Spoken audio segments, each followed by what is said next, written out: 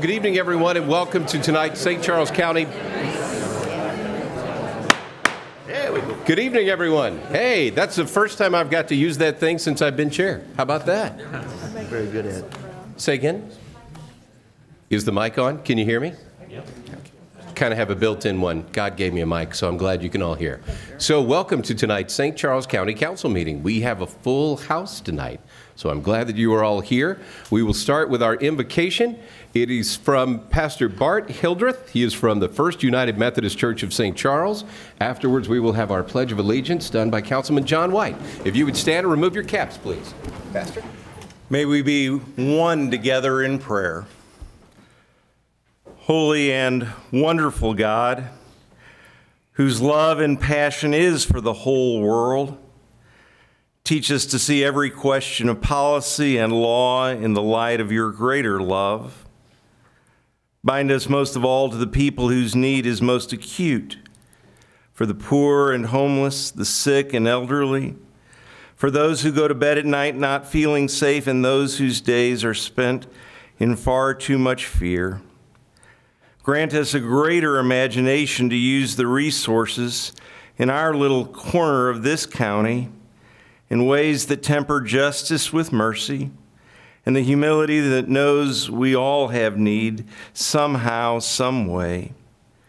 As we deal tonight with the gritty details of governing, we lift to you all those persons in our community who are on the front lines of trying to make a difference the police, the men and women of the fire department, those on the city council, board members, and city leadership. We ask that you give us all a discerning wisdom, the courage of a clear moral compass, the urgency of anything short of the full truth and a willingness to reach across differences to find common ground and new understanding. Now, with hearts full of gratitude for the many good things that come with living here, we join in celebrating the accomplishments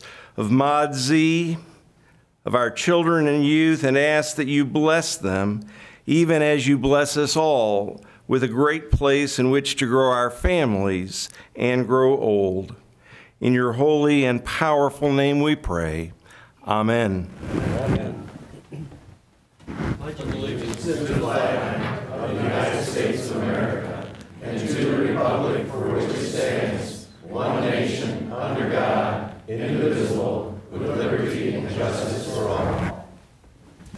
you. You may be seated. Call the roll. Councilmember Joe Cronin. Here. Councilmember Joe Brazil. Here. Councilmember Dave Hammond. here. Councilmember Mike Elam. Here. Councilmember Terry Hollander. Here. Councilmember Mike Klinghammer. Uh, here. Councilmember John White. Here. Uh, I would ask Councilman Hammond for his motion. Yes, I'd like to uh, make a motion to move resolution number 1703 as the next order of business tonight. A second. Have a second. All those in favor? Aye. All those opposed? So we will move forward with Resolution 1703, and I would ask um, Ryan Treasure if you would meet me at the podium. Resolution 17-03, sponsored by council as a whole, a resolution recognizing and honoring Modulation Z, Mod Z, on its achievement as one of the top drumline groups in the world. Whereas the St. Charles County Council is pleased to recognize and honor the achievements of local high school groups who have accomplished extraordinary feats, And whereas Mod Z is a winter drumline group consisting of students from Fort Zumwalt North, South, and East High Schools, and was created in 2013 so the students could participate in this fun and exciting experience. And whereas in April, Mod Z won the WGI World Championships Percussion Independent Class A Gold Medal Performance performing What's Out There, finishing at the top of their class with a record-breaking score of 96.025 points. On their way to their World Championship, Mod Z beat out 35 teams consisting of more than 36,000 individual participants from throughout the United States, Canada, and Europe. And whereas in the short time that the group has been competing in the World Circuit, Mod Z has won numerous competitions, including the gold medal for the PIA class at the MCCGA Circuit Championships in 2014, 2016, and 2017. And whereas Mod Z has accomplished all of these amazing feats under the direction of Ryan Treasure. Now therefore be it resolved by the County Council of St. Charles County, Missouri as follows. Section one, the St. Charles County Council hereby recognizes and honors Mod Z for winning their world championship. Excellent.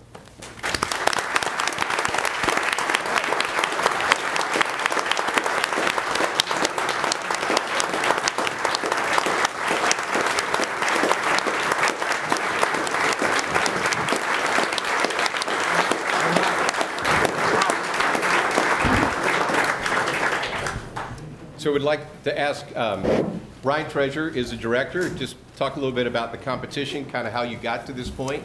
Um, We took a, a big group photo outside earlier because we were figuring, trying to get everybody into this picture was really hard. So uh, we've got a lot of different heights in this group. So you want to talk a little bit about the competition? Well, the competition is starts. We started rehearsing for it in October, and it ends in April. Um, we have about half the kids here. There's like 41 kids. We're all high school kids, and in our class, we're the youngest group because we're the only all high school age group. Most of the kids are in their 20s. So when we win a thing, we're beating out kids that are five, six years older. Our, our average age is 16 and a half. Most of the other groups are 20 or 21. So um, a lot of universities and stuff like that. Um, this year, when we went, uh, we not only won the gold medal and you know set the score of the 96.025. That's a record for that class. We're the first group from the state of Missouri to win any class in the 40 years of WGI history. So the entire world circuit, we're the first one.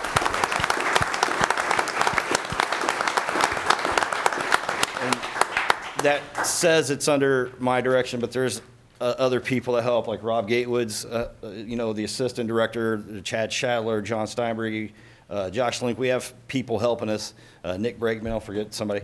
And then the parents are there all the time. They're doing, they're there. We have 500 hours that we meet outside of school that they, they take out of their time over spring break, over Christmas break. They're showing up and we're doing, you know, we're working. And the kids, well, they complain, but I mean, but not not as much as you'd think. But then, uh, but yeah, the parents are there doing that stuff too. They're helping with props. They're like, hey, we need food for this, and and it's just it's a big come together community thing. Everyone going for the same goal, and and then this year we we achieved it. So in five years we have gone from uh, you know, hey, what is this to to to winning the thing. So I'm very proud of them. They're they're a good group of kids. So Outstanding. Congratulations. thanks. Let's take a quick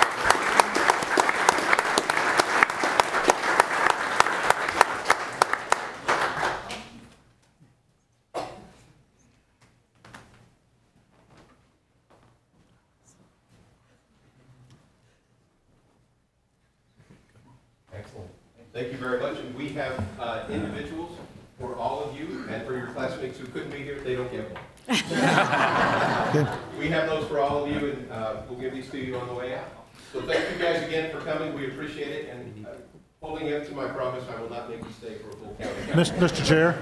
Yes, Mr. sir. Chair, next time though, would you bring your drums, because we could use a lot of livelihood in this part, okay? All right, all right? Thanks. All right, good. Mr. Chairman, Yes, ma'am. for the parents who are here trying to film that, the, the meeting's available on YouTube usually about 24 hours after you all are gone. So at through our website. sccmo.org, you can go on there and you can watch the entire meeting uh, on demand, so in case you wonder what you missed when you leave, you've got that. If you stay for more than the first 11 minutes of the meeting. So we appreciate that. Any other comments? I need to vote, uh, read it and call a vote. Oh, for my it. bad, yes. Uh, A resolution recognizing and honoring Modulation Z, Mod Z, on its achievement as one of the top drumline groups in the world. Councilmember Cronin? Yes. Councilmember Brazil? Yes. Councilmember Hammond? Yes. Councilmember Elam? Yes. Councilmember Hollander? Yes. Councilmember Klinghammer? Yes. And Councilmember White? Yes. Thank you guys very much. We will move on to public presentations. Ms. Hope Woodson from the Public Health Department will kick us off tonight.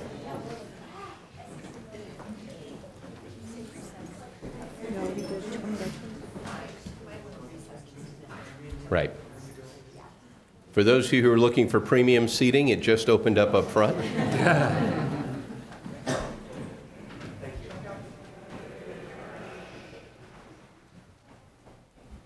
It's tough to tell a drum corps to be quiet, you know? It just doesn't work.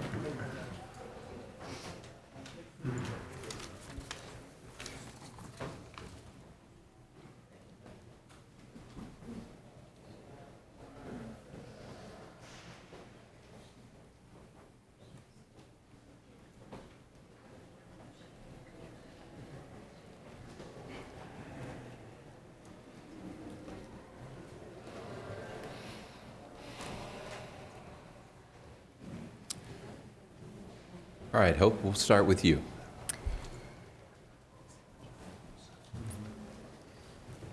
presentation gonna come up?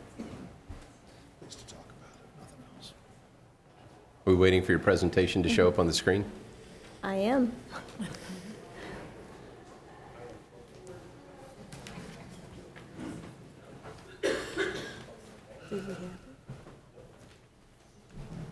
Mary. Mary. I sent it. Okay. We'll call an alternate, and we'll go with Vicky, and she gets to go first while we get all that stuff done. Vicky's got an update on the 2017 legislative session that ended in a bang. Yeah. What an exciting last day of session It, it was pretty wild. that was. Yeah. Um, Thank you for having me here to give a, a quick little um, overview of some of the highlights and lowlights. Um, Good evening, Chairman Elam, Elam and members of the council. Um, If nothing else, this year's um, session had considerable drama from start to finish. A week-long special session ended on Friday, authorizing the Public Service Commission to set a special electric rate for smelting, uh, metal smelting, steel fabricating, or other large electric users if it's determined that a facility would not otherwise be able to operate, and that setting such a rate would be in the interests of Missouri citizens. That had a an emergency clause, so if the governor chooses to sign that, it will go into effect right away. Um, During the regular session, about half as many bills passed as you would normally expect. A few passed early on, and the governor signed those. Um, Those early passage bills included the TNC bill, which allowed Uber and similar companies to operate throughout the state, and also the Right to Work bill was passed early. Other bills that passed included allowing port authorities to expand or reduce advanced industrial manufacturing zones within their area. Of note is that the funds appropriated for grants to assist port authorities was reduced this year, but they did come away with 4 million. They lost 2 million of that appropriation in a separate bill that just didn't make it through all the way. Senate Bill 283 made county road management changes that were pushed by rural um, counties. We secured the option of passing an ordinance to protect our ability to promptly address dangerous conditions on our county roads. Senate Bill 62 dealt with financing government pensions for counties enrolled in a plan other than LAGERS. Our work there was to ensure that our residents would not be charged a fee to fund government pensions for other counties, so we took care of that. Permission was given only for St. Louis County and St. Louis City to use an existing authority in state statutes to pass a 1/8 cent sales tax to support the St. Louis Zoo. All counties were prohibited from using a second um, sales tax authority for that purpose. The zoo's main campus, now under this um, bill, is required to remain free of charge. But residents of counties that do not have a tax supporting the zoo can be charged admission to other facilities, programs, and events. The bill included, though, taxpayer protections for any new voter-approved sales tax for all counties and cities that use certain state-approved um, authority to do that. Those protections that affected counties, including requiring a new sales tax to be limited to a use for a stated purpose, prohibiting submission of a sales tax proposal to voters within two years of having submitted a previous proposal, and also limiting the combined sales tax rate under that authority to just 1%. And St. Charles County is well beneath that, that level. Missouri residents also were given the option to obtain a federal government compliant driver's license called a Real ID, so that will be coming in time.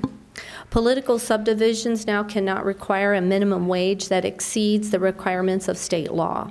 Project labor agreements for public construction projects was banned. Can't do that anymore. Enhanced penalties were set for crimes targeting law enforcement officers. So we want to try to keep them, them safe. Several measures identified as pro-business passed, and that included tort reform and modifications to discrimination and workers' compensation laws aimed at reducing frivolous claims and inflated damage awards. Many issues were left on the table. House Bill 656 failed, and with good reason. This is the bill with a goal to provide the deployment of the next generation of high speed wireless service known as 5G, and it was fraught with problems from the start. Major concerns of the county included granting largely unfettered access to the county's right of way to an ever expanding number of entities. Also, granting authority for the placement of equipment onto local government's signage, traffic signals, and buildings. Also, obstructing our ability to responsibly manage the right of way and provide for the public safety. The statewide prescription drug monitoring program failed.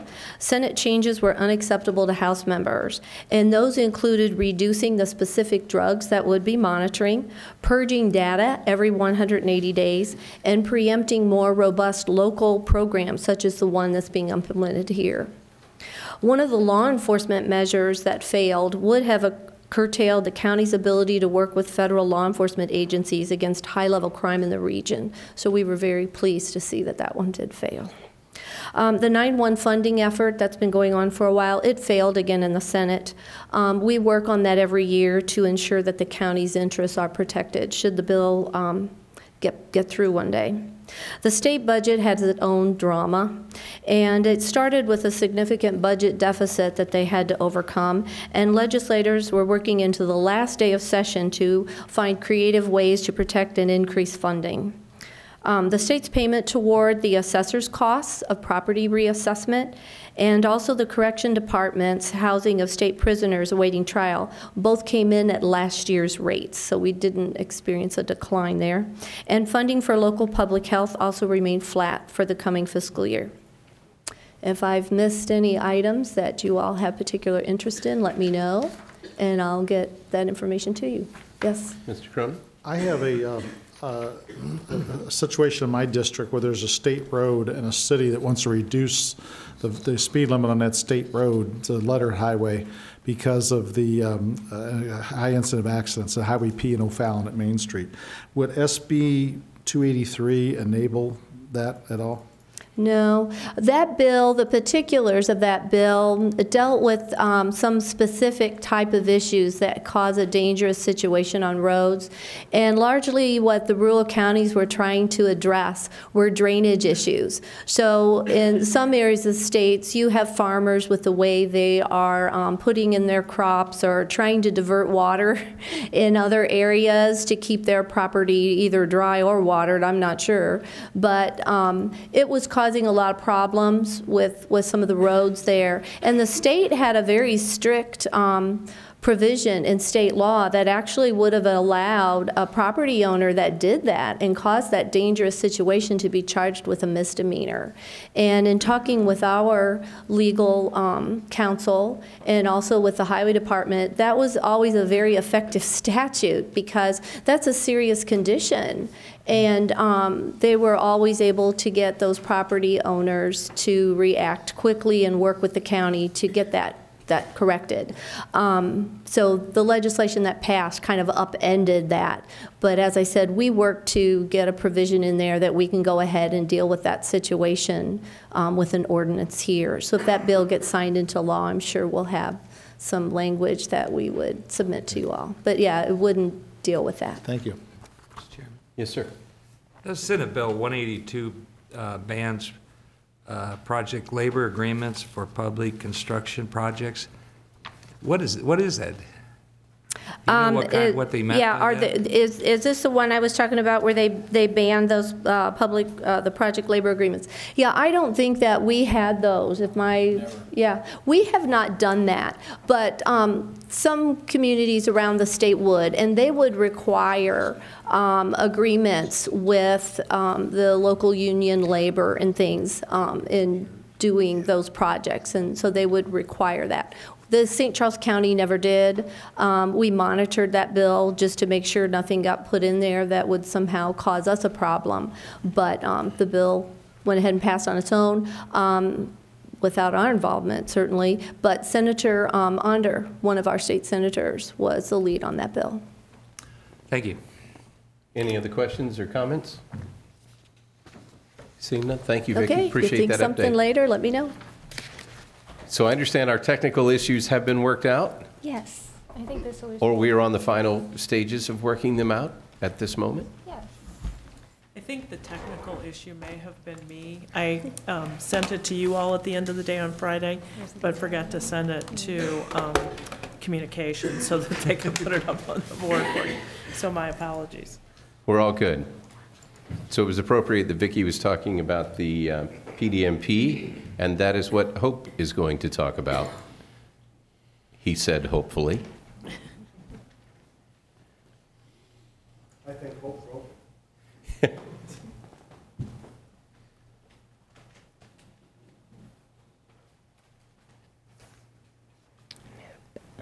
Hey Trevor, if you've got access to it back there, will you go ahead and try and pull it? It's taking a minute to try and load the jump drive.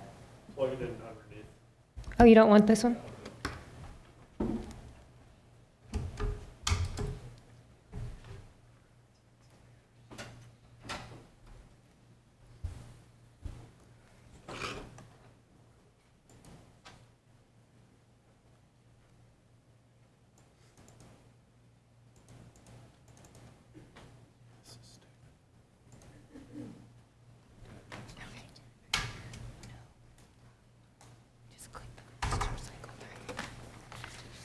Okay, Hey, welcome back. thank you. Thank you for giving me the opportunity to give you an update on the prescription drug monitoring program. So just briefly, as we've talked about over the last year, the overall goals of the program is to basically provide our physicians and pharmacies with a tool. It's a tool so our pharmacists and physicians can be better describers, prescribers, and better dispensers. And um, for health departments like ourselves to draw down data that can be beneficial in recovery programs, health education programs, and so forth. It is not a tool to be used to police somebody. It is simply a tool for us to be smarter healthcare operators.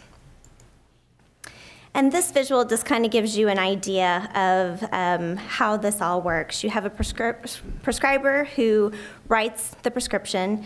You have a dispenser that fills it, and in the PMP AWARxE, they can look at that information exchange so that when a dispenser, before it hands that prescription over, can look to see if that particular person has filled that prescription, possibly at multiple different locations within the week or within the day, or if the prescriber, before he writes that prescription, can see if that person has been to several other physicians prior to coming to them.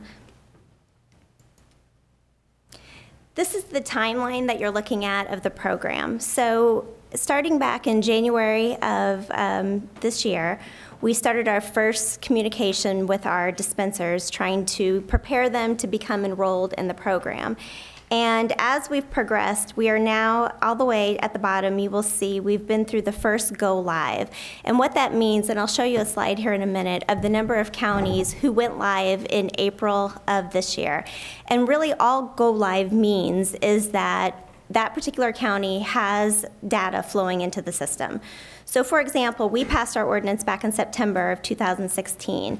So we started live in April, but it retroactively goes back to when we passed our ordinance. So all the data of prescribers and dispensers goes back to September of last year up into present date. Now we're waiting for our second live, which is um, July 1st, and that will be the second set of counties that I'll show you um, will be enrolled in the program and ready to go. So phase one, as you can see, those are all the different counties that went live when we went live. Phase two is the next set of counties that are contracting and ready to go and signing their agreements and will begin submitting data on, in July. There will be a third go live for those that are just um, coming into the program. As many of you may have read, uh, Jefferson County just recently passed their own ordinance as a health department. And so they too will have the opportunity to go live in August. And we'll just keep going until we get more and more counties. This is a visual of, just to show you all the different counties that have contracted with St. Louis County to roll out this program. And, and actually, if you look at the materials that, that came out last Friday, you'll see there's actually two tones that don't really show up there very well. So the dark ones, as I remember, Hope, are the ones that actually were in the first go live. And the, the ones that you, it's really difficult with that wall To see. shading are the second go live group. So we'll get a better depiction of that on any future updates. And keep in mind that this information, um, what I'm presenting to you tonight is information we had as of May 25th. I can tell you daily that we get hundreds of new prescribers, and there's a lot of new counties in the process of looking at new ordinances. So uh, up-to-date information is, it's new every single day. So this data that I'm showing you is all the contracting counties that are currently submitting data. So far, there's two- 2,700 requests to become enrolled in the program as far as a dispenser or a physician. There's 2,300 approved users. All this means is that there's 400 as of the 25th that are kind of in limbo. There's a pretty lengthy process for you to be approved to be into the system, and so it kind of just takes its time. So by this presentation right now, those 400 could already be in the system.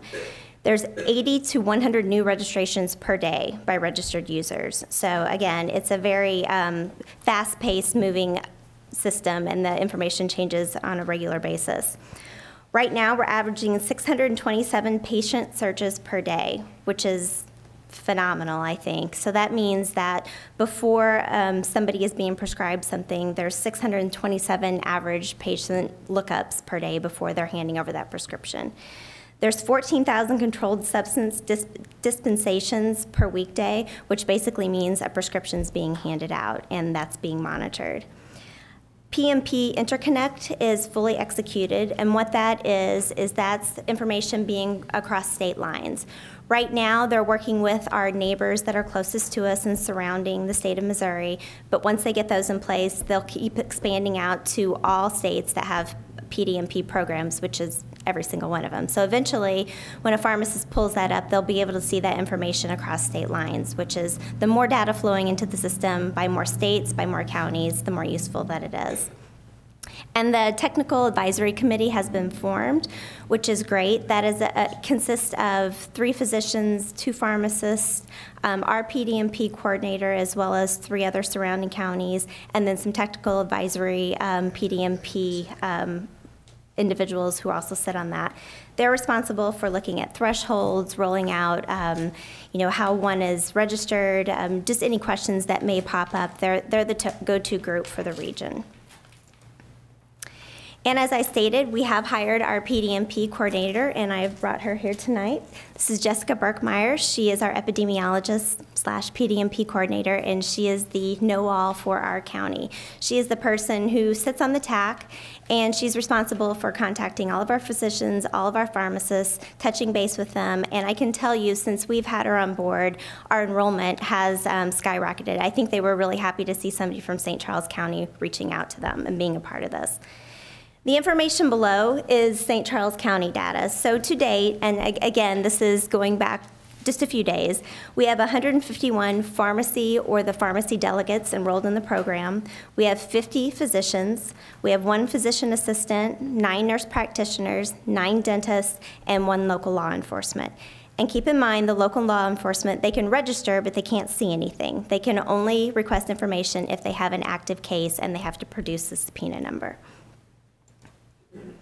And this website is located on the St. Louis County Health website. And this is all the information that you need to know about PDMP and um, where we are today. The timelines, the frequently asked questions. There's video tutorials that show dispensers how to enroll in the program. There's all the counties that you can you can see a little bit more detail about their actual ordinances, when they were passed, which ones are in progress, and just any questions that you may have about what we're doing. And it's updated on a daily basis. And that's the end. Does anybody have any questions? Yes. I saw that like you had 600 prescriptions went through the system out of 14,000, and you've got like 50 doctors. How long do you anticipate it's going to be till you got full coverage on all those prescriptions are, are checked and all the doctors in this county are on the system? I have been pleasantly surprised at how fast it's been progressing. Um, we kind of went through this slow period where I thought we're not going to hit our target dates. Um, but what I can see now is the ordinances are passing faster and faster. As one county passes, another one passes, and the go live dates are coming quicker and quicker. So the last one was April, and then we have July, and now they're looking at August, and then possibly September. So with each new month as we progress, um, that just means it's open for more registrants to, to apply for the program. So I personally hope by you know, a good seven to eight months of data exchange that we will have a, a pretty robust, healthy system to pull from. So, so how many doctors are in the county now? There's, well, doctors and pharmacists, there's 800 available users in St. Charles County. So Okay. we're about at 221 right now. So you, you got a ways to go then. We got a ways to go, but And is there, there any mandatory, uh, do they, do they have to, do they have to be part of the system by a certain date? Physicians do not have to use the program if they choose not to. Pharmacies have to give a, a really good reason as to why. It could be a technical reason, and then they will work towards amending whatever that technical reason is. Okay. How many, what, how many pharmacies are in the county? Uh, Pharmacies, I think we have 290 plus. And how many of those do you have signed up in the system? You said about, We have 151. so you're about halfway through the pharmacist then? Hmm. Okay. A lot of work. Thank you. Welcome. Any other Any questions? other questions, comments? All right, thank you Thank very you very much. much. So we will move on to public comments. Um, Public comments are listed, are limited to three minutes each. You'll hear a timer that will go off when your three minutes has expired, and we'll ask you to wrap up your comments and move on to the next speaker. Our first speaker tonight, Carol, is? Would be Ron Laris.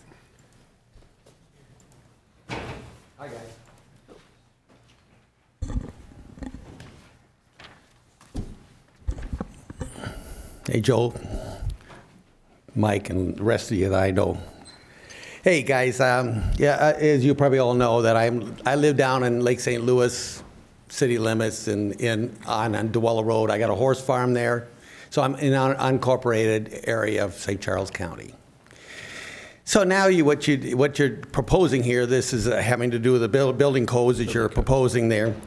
And uh, I, I just got a couple questions here. Is it, and, and I don't know if these have been thought out, but I'm sure there'll be other people to ask you questions on this, Mike. But, you know, we have in the county, we have unincorporated areas that have HOAs in them, in housing and so forth. Eh, You know, and what's going to overrule what area? Because there'll be some kind of conflict goes in there. I thought I wanted to think about that, okay? And here's another thing, is that you got, what, 700 pages I heard or something like that? 8,000. 8,000, okay. So there's 8,000 pages of code, okay? Can, could I see a show of hands? How many of you guys read all that code? You're not going to say you said it, you read it. Okay, good. We got one out of the, all the writ. Here's the, here's the thing, guys. We, we passed the Obamacare without people reading that. People need to know what they're passing to be able to put that forward. So I know it got voted down once, and I know it's back up there. So I just want you to think about that because that's an important issue here. If you're passing code that affects the people, you need to be able to know what's getting, what you're putting there. Taking some code from some international standards or wherever they're coming from and passing them just because some other city did, or, you know, not a good idea. You guys really need to know why you're doing that. Okay, so that's another point. Um, so let me let me see. See, I wrote these down so you guys really, and I want you to think about too. When you pass codes, then you you could have a retrofit requirement. In other words, codes go into effect, and then some area in the housing areas, and it affects housing when they're building houses, and then when you're selling your house, could be re- retrofit back into the housing houses that we have there, depending on the code and how that's handled through you guys. So that could be a cost into people's houses and the cost of putting houses into that into the area of St. Charles County. So that's an important thing that you need to understand how you're affecting that. Um, and in this bill, this code, since it affects uh, so many 8,000 pages of what it is, thanks for correcting me on that. The 8,000 pa- pages, it's like, you know, we all need to be basically, we should be voting on that. That affects a whole lot of area in the county. I know you've been given the rights to vote on county council, but maybe it should be taken up a vote of the people, you know? Yeah, let's see, I got one more thing I think here. Uh, Anyway, I don't, I got, I don't know if I left one out here, but I'm sure there'll be some other people talking about it too. But I just want to put that up, guys. My Thank three you, minutes are up. That's good. That's But think about time. that, guys. And I, I want to make, the, the drum line, good job, guys. Thank you. Our next speaker, Carol.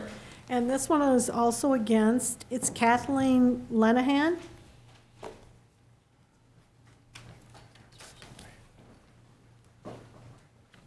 Good evening, gentlemen.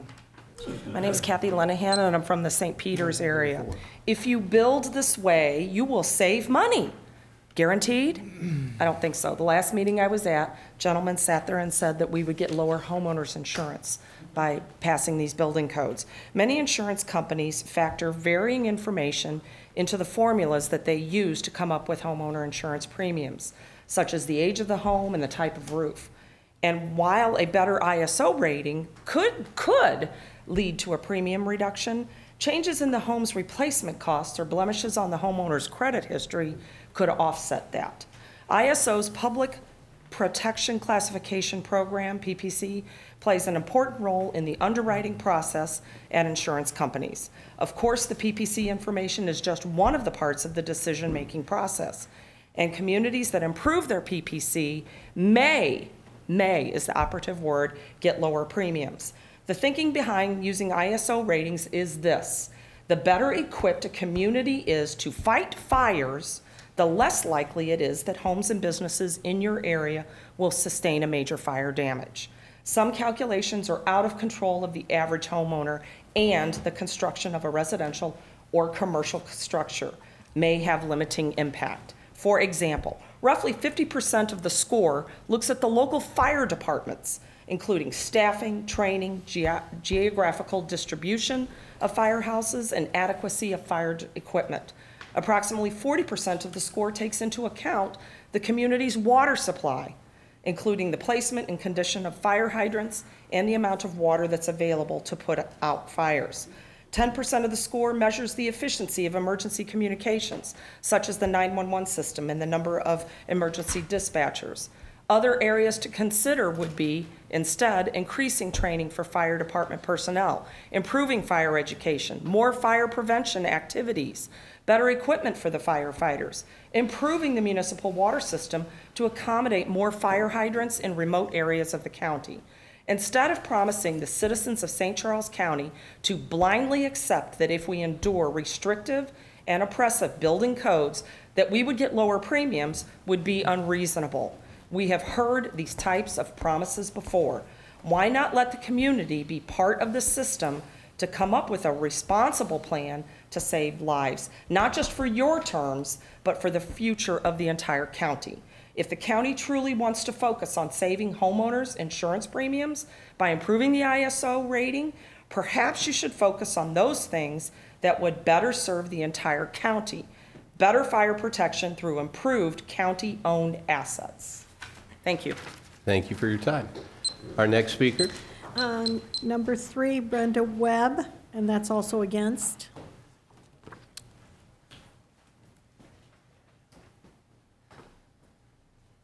Okay, Good evening, gentlemen. Thank you for listening to the citizens. We appreciate it. Um, Get my cheaters on here. Um, I am here tonight to speak also against uh, Bill 4475. Um, And I would just say that we are, most of us here, and there's a large group of people here that are opposed to adopting these or upgrading. Um, And uh, we're not opposed to codes altogether. You know, we, there are good reasons to have codes for certain things or, you know, that, that fit St. Charles County. Our objection is the massive, you know, broad reach that these things have. They, they address everything. Um, they address thing, typhoons, you know, in, in Japan. They address earthquakes in wherever. Um, and w- we would just like to have codes that are written in St. Charles County for St. Charles County that are owned by St. Charles County. One of our objections is that you- you have, in order to own or get a copy that you can possess, a resident can, can possess, you have to buy it from ICC. You know, I, I just think that's abhorrent that we have to buy the codes. We understand that there's a copy at the county. I work in St. Louis County. So I could take my lunch hour and fly over here and try to grab a book and re- speed read through it, which I don't speed read.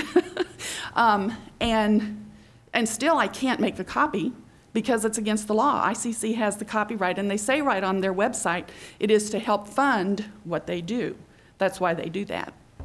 So I object to that. I think that there, we should have codes that St. Charles County wrote, or, you know, from somewhere that we can get a copy that can be loaded on the website that citizens can just download and have a copy. And the reason we need a copy is because of the fine that we also all hugely object to, that we could be fined up to $1,000 and/or a year in jail. I, we're ju- I'm just, I don't know why I'm still shocked at government, but I find that shocking that our government thinks that that's appropriate. And, um, you know, and it's per incident, so is it every time the inspector comes by? Is it daily that that can go up? In 10 days, can it be $10,000 and 10 years in jail? I mean, come on, you guys. You know, it's, it's just, I don't know, I'm just shocked that that's in our law. Um, we really want that taken out. Uh, the cost of the books are like over a $1,000 for the whole set. If you want the 15 books of the whole set, it's over a $1,000. That's unconscionable. Even one book is 35 up to over $100 a book. So depending on which one we need, and we need to know so that we know whether we're in compliance or not, you know, or we might go to jail. I mean, you know, it's just it's just really extreme. We we don't want extreme codes. We want common sense codes. thank you very much for your time. Thank you.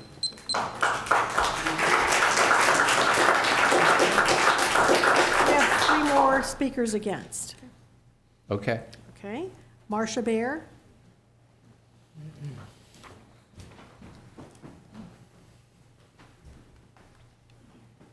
Thank you, sirs, for letting us speak this evening. My name's Marcia Bear. I live in Augusta, the southwestern rural portion of the county. We have 38 acres. We are unincorporated. Yet, we, if you pass these, we are signed on to all of those 8,000 pages of codes affecting everything in our life. I have asked the council repeatedly, how did we go from BOCA codes to the international code? I didn't have an answer from anyone, so I did a little research online, and I'll point that out to you and be happy to give you all of the web links. In 1976, the United Nations Habitat Conference on Human Settlements was held in Vancouver.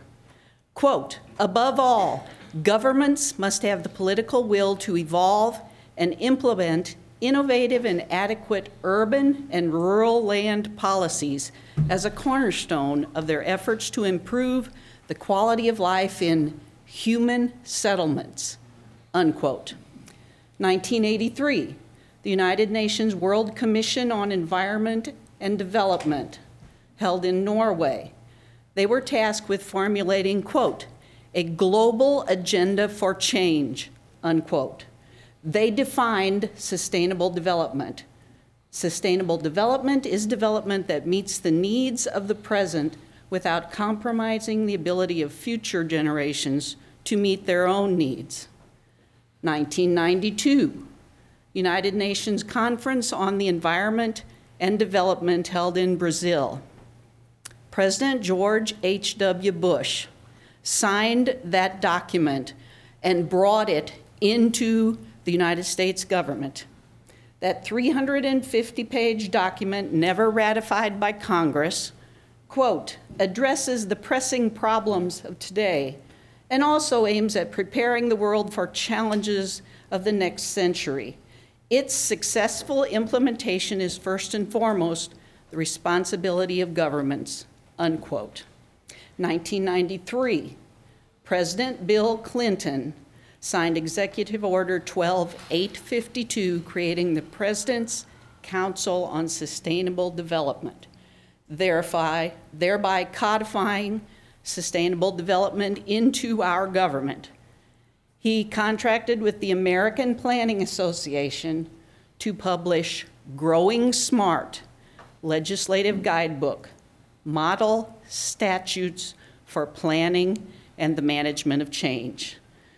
The ICC, the International Code Council, was created in 1994, one year later. These are model statutes for change. They are not the complete document. Thank you. They leave a place for us to put our jurisdiction. I ask you not to adopt them. Appreciate your time. Next speaker. Richard Nation.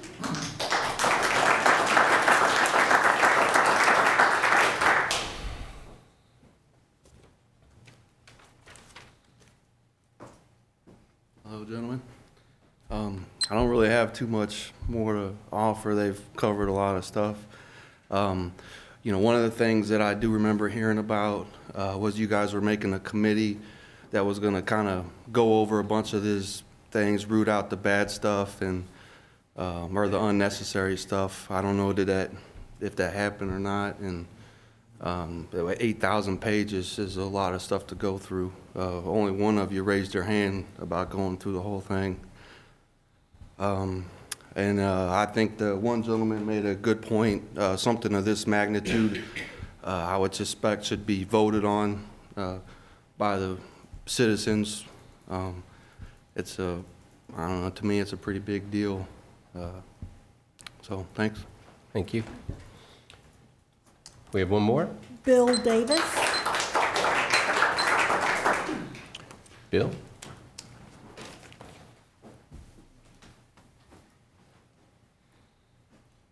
Hi there, I'm Bill Davis. I live about a half a mile back that way. It costs $30,000 for a building permit for a rectangular 40,000 square foot building on a rectangular lot. That's 75 cents a square foot, more money than it costs to insulate the building. I own the building, $30,000. I had $3,000 a year to the rent to recoup my $30,000. People buying goods out of that store pay the $3,000 to consumer. Moving on, it costs $50,000 for the permitting process. Site plan, building plans, soil tests, meetings, grunting and groaning, all that. It, so now we're up to $80,000.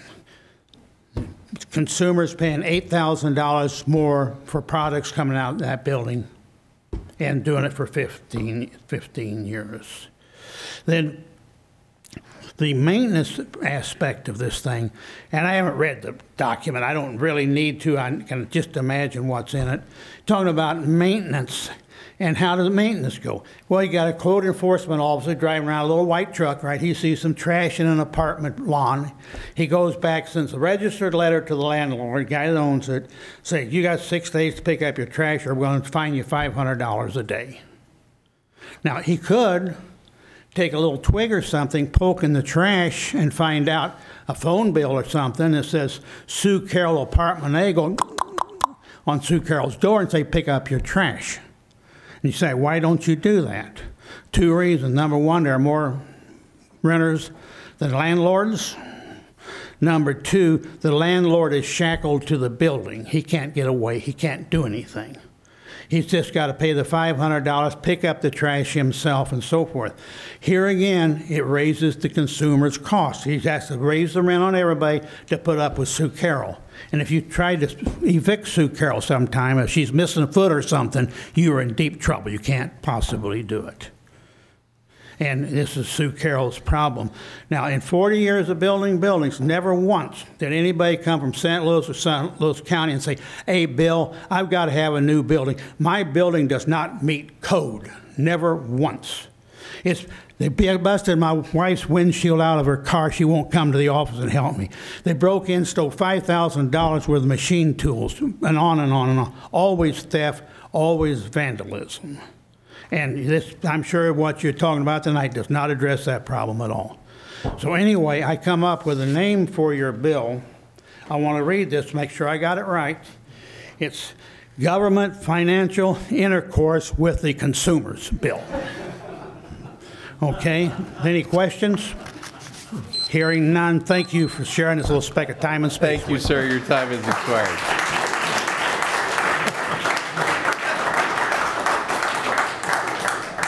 We actually have something on a We different have- topic? We do What? on Bill 4480, Ed Barrio.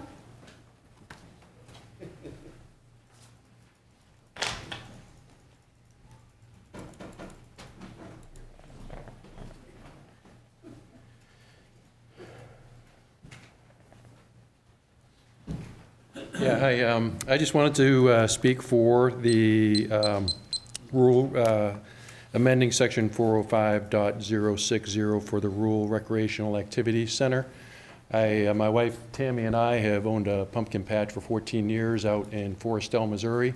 Uh, Hopefully, maybe you've driven by it or would like to drive by it sometime. Absolutely beautiful piece of property.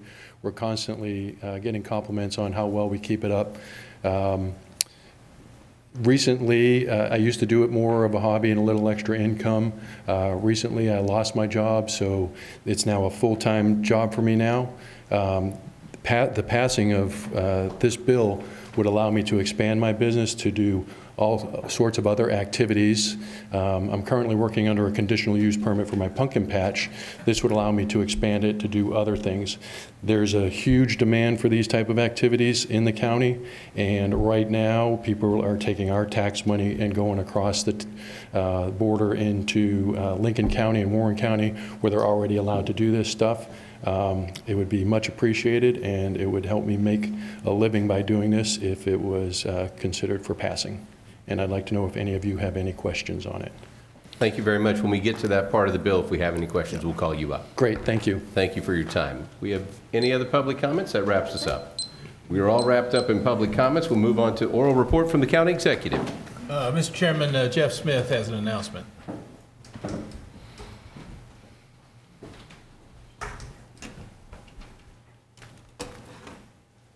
Mr. Chairman, members of the council, uh, on your desk, I think you have some information there that uh, we're going to start distributing Thursday.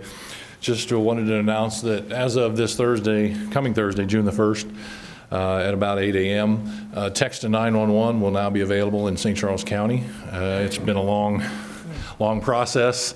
Uh, We've been working on it since uh, moving on to the new system, the new next generation 911 system, and this is the next phase of it is text to 911. Obviously, we'll always want to talk to a 911 caller if at all possible, uh, but we realize that sometimes that's not possible or the most practical way for someone to reach 911, especially if uh, they don't want someone to know that they're needing to call 911, domestic violence situation, uh, God forbid, you know, some type of school or business active shooter situation where they're trying to hide from someone. So anyway, it's coming. Um, be active uh, Thursday morning. Uh, You have the information that we're going to start distributing throughout the county. Uh, If you have any questions, I'll be happy to answer them. Mr. Cronin? Um, I talked to Tom Neer about this quite a few different times. This was something for him, and he told me it was very important to realize that in times of nat- natural uh, disaster, like Joplin tornado, you couldn't get through on the phones to 911, but you could text to 911. That is correct. So I think that's important that the public realizes that, God forbid we have those type of disasters here, but should we do, the text might go through where nothing else will go through. So I I hope that you can publicize that as well. Yes, that is a good point. Any Jeff, I other know you've been working on this a long time. It's, it's something we certainly need, and, uh, um, you know, yeah. sometimes I wonder if there's a, another way to talk to my kids other than texting, so I I appreciate it.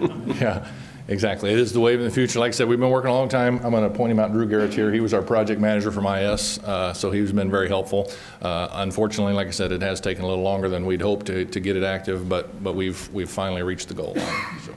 Any other questions or comments? Good job. Thank you. Excellent, thank you very much. Nice work, young man. Thank you. So we'll move on to, I'm sorry, County Executive, anything further? No, sir. That's it. So we'll move on to consent agenda. Any items to be removed from the consent agenda? Mr. Chairman? Oh, Go ahead. Oh, I'm sorry. Mr. Cronin has something I believe he wants to remove. Uh, Mr. Chairman, I would like to entertain removing the last item on the consent agenda regarding, um, I'm sorry, uh, re- regarding, uh, I'm sorry, uh, I lost it here a second. Port, I'm sorry, last item, roads and traffic, Port Authority feasibility study for discussion. Uh, We have a motion made and second. All those in favor? Aye. All those opposed? No. No. So motion carries, so it will be removed from the consent agenda. Mr. Cronin, it is yours. Oh. Oh, I'm sorry. My, my bad. I'd like to remove uh, roads and traffic change order.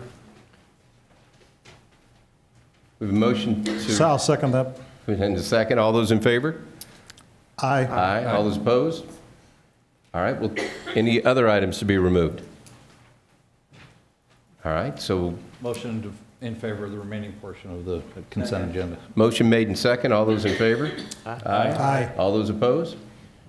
All right, so consent agenda is approved except for these two that we have pulled off. We'll start with Port Authority and Mr. Cronin. Um, I read through this pretty thoroughly and did some research on it too. I've got several issues, I guess, starting with the cost. This pretty much just pays for a a gold-plated study, and we budgeted $20,000 for this in the county's annual budget, and this came in at 98,000. Part of that $98,000, $15,000 is for their, their attorneys to draft a, um, a- an ordinance for the county council to pass. And I learned from being a good study of Mr. Hazelwood that the county council are supposed to draft all ordinances in this county. So that's one portion I have with it. The biggest issue I have with this thing is, is this Port Authority, if you look at the other ones that are uh, in this area, particularly in St. Louis County, this is an appointed body that doesn't answer to a legislative body like the county council. They're not elected. Uh, They have extreme amount of authority and power, but reality is that they are appointed, under the current plans, they're appointed by the executive, and once they get rolling, we don't have any control over them. That being said, what I fear the most is not, this does, this isn't just about ports. This is an economic development tool. This is, the the boundaries of this district will be the entire county boundaries, according to the document. So they can, they can do this anywhere. In fact, in, in reality, most of the port authorities don't just build ports. They do redevelopment and economic development and projects like, um, like uh, recreational mixed-use facilities, all types of stuff all over the state. My issue is that we're giving those, those appointed people the power to use eminent domain, the powers to create TIFs, and a lot of powers that we're going to have no oversight on. So I understand that going to be some benefits over TIF, uh, for TIFs. I understand that there's some benefits for port authorities, but I'm not free, I'm not uh, in favor of giving a port authority carte blanche over eminent domain in this county, over um, uh, property acquisitions, over TIF use, et cetera. I think we need to read the fine print of this a lot um, more thoroughly before we jump into this thing. Any other questions or comments? Start with Mr. Hollander. Well, I, I believe this, this, what's on the agenda here is just a feasibility study. I think all the things that you've brought up are all valid questions that will come before us, uh, you know, again, if this feasibility, once this feasibility study is done and we have the information that we need to make a decision. So, uh, I- you know, I think your questions are very valid. I think they're going to be answered, you know, down the road. We'll start here and go to Mr. Brazil after Dave. Uh, I know, we've been talking about this for a year and a half. It's, I don't think it's anything new.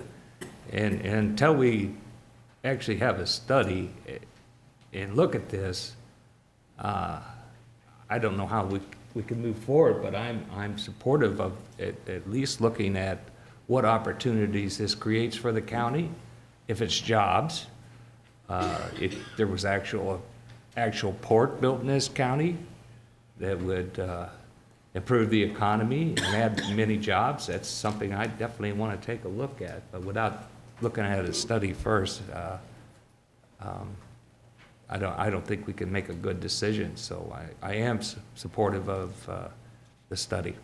Mr. Brazil. I'd like to say, I agree with what Mr. Cronin said, however, I understand the purpose of doing this. We, we tried to put a ferry in, uh, uh, uh, down the Missouri River to cross over to Labadie, and, um, it would, um, make it easier to get over Franklin County, and that's, in my district, gonna enhance tourism and some other things, and, uh, without having the Port Authority, we have a lot of problems with that. And then we tried to do, do a marina down in St. Charles, which was gonna be with capital money, with, um, uh, investors, and uh, they worked on that for years. And, and it was a great plan, a great concept, but the, um, the Army Corps of Engineers wouldn't let us do it because we didn't have a port authority. So there's other reasons why we're doing this, but I agree with what he's saying. I am supportive of doing the study, but I will not be in support of any kind of a board put together by, um, you know, the, the board should be the elected officials. It- That's the way I see it, because we have to answer to the general public. So if, it- if we continue, if we go through this, we have to study it, get it figured out, but on the setup of it, it should be managed by elected officials who have to answer to the voters. That's how I see it. And so, and I, I never, the TIF thing and stuff, I, I know what he's saying, but again, that's not the intent of it either. Right. Any other questions or comments?